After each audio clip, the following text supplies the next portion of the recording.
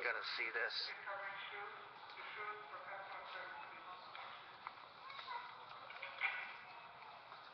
The guy was riding his bike through the store, and this kid was right behind him. He smashed into this shelf. Like, boy, you're fucking real, real stupid, real bright. That's a great way to teach a kid. Moron.